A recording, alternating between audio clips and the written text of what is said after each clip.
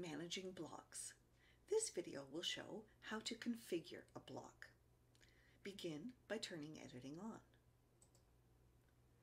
Then scroll down to the block you want to configure.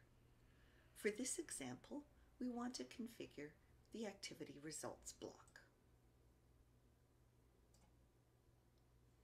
Click the Actions menu and choose the first option, Configure Activity Results block.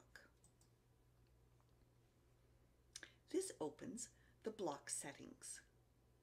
You can configure items in the block settings section. In this case, we can choose which activity we want this block to display results for.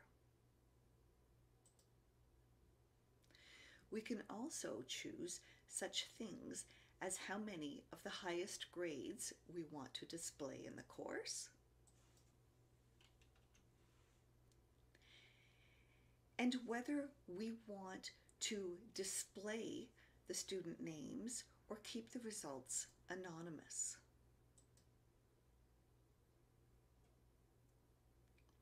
There are only minor or no changes that can be made in the Where This Block Appears section and the On This Page section.